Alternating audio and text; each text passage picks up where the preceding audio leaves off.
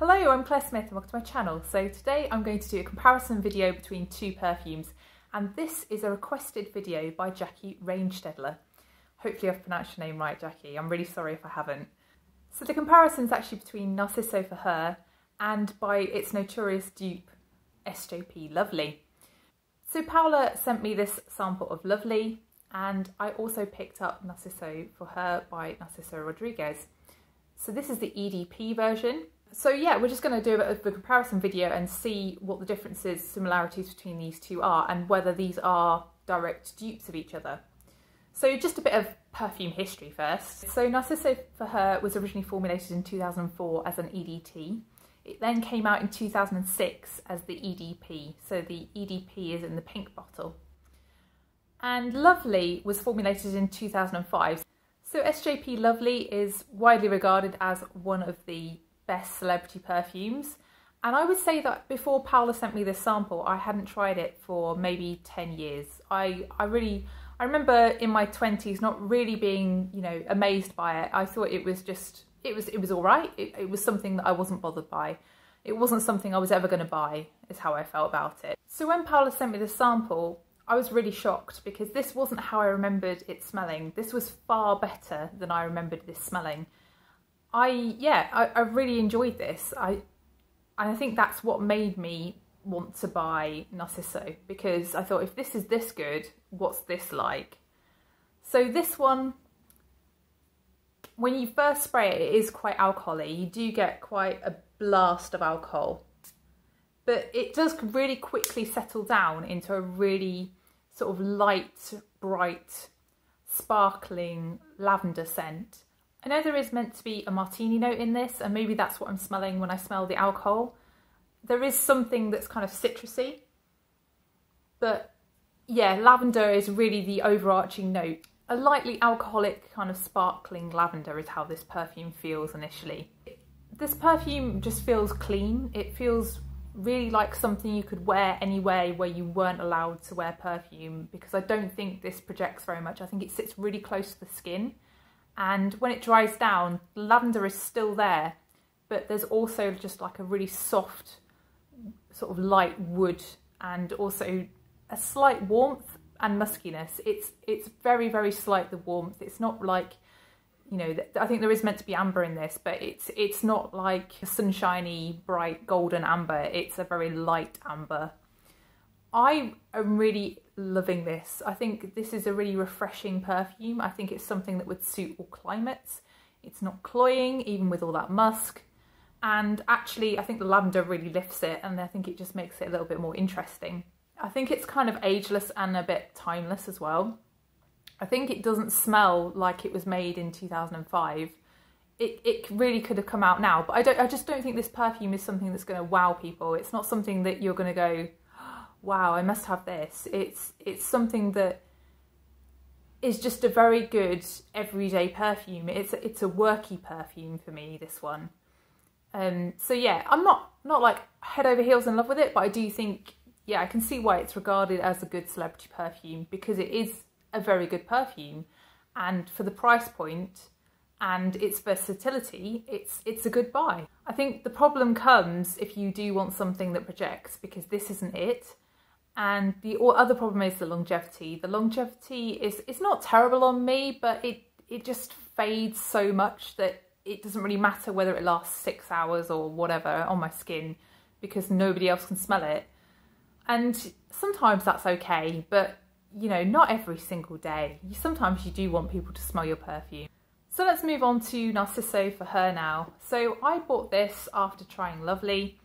And yeah, I don't know what made me blind buy this it, something just did. I, I just had this this feeling that I would love this because I love powdery scents. I love musky scents. So you know, how could this go wrong? And after trying Lovely, it, it sort of convinced me. It made me think that I would I would just fall in love with this one. And do you know what? I was a bit silly because I didn't really think too deeply about the differences between the EDP and the EDT.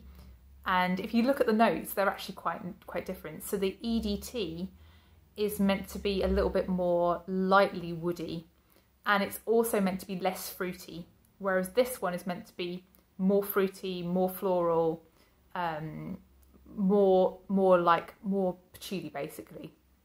This when I when I compared them out of the nozzles when I when I sniffed them together, I thought wow they're really similar. They're they're almost identical. Why you know why would anybody buy this if they could buy Lovely?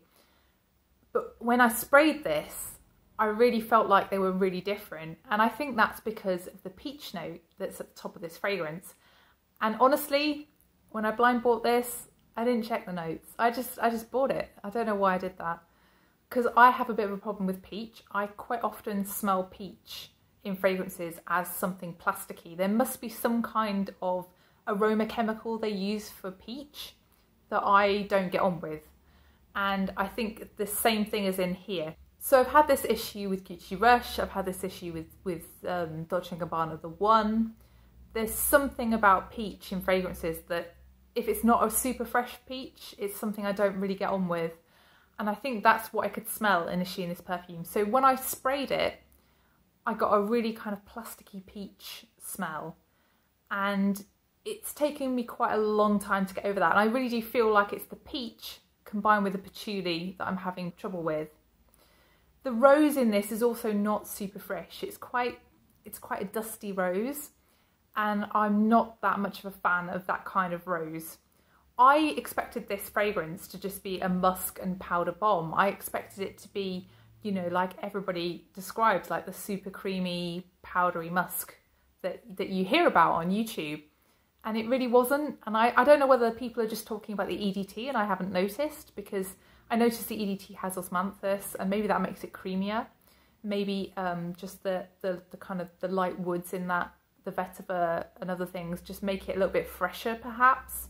I found this one a little bit cloying and a little bit heavy and certainly compared with Lovely, it was very, very, very heavy in comparison. So as this dries down, it does become rosier and it does become muskier. And there's a mid stage where you do smell like warmth from the amber and also a lot of the patchouli. The patchouli does calm down and it does turn into a cleaner musk, but in the middle stage, the patchouli really makes this a little bit dirty to me.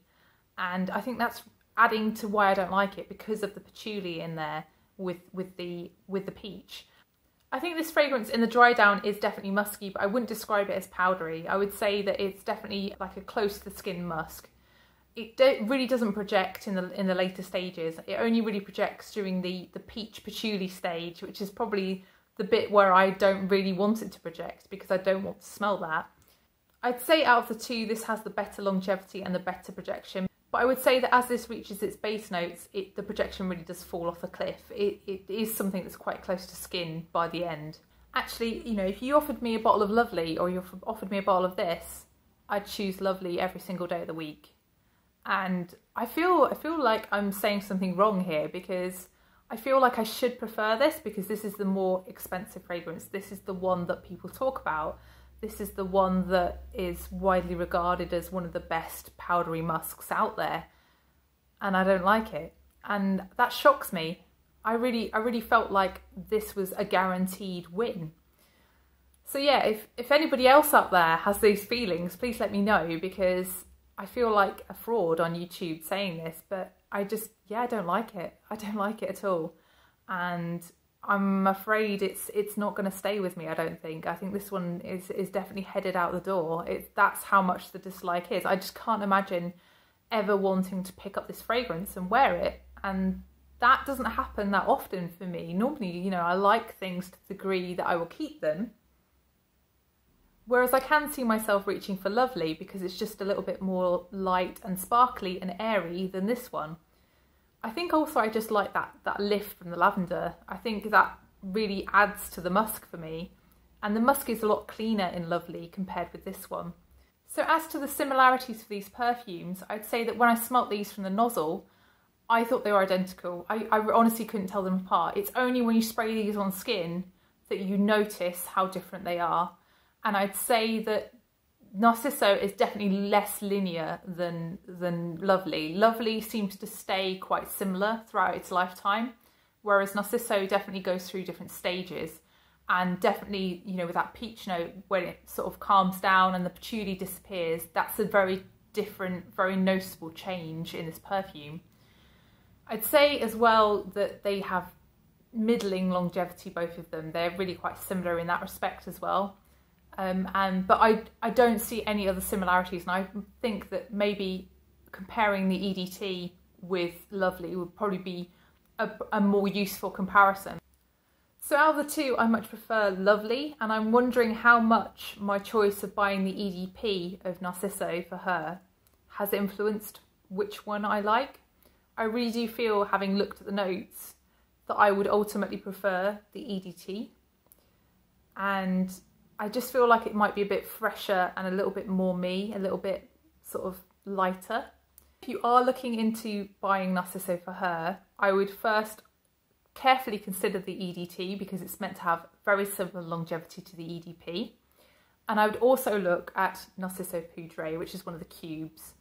Narciso Poudre is, is a fragrance that I really love and it's very much more powdery than Narciso is.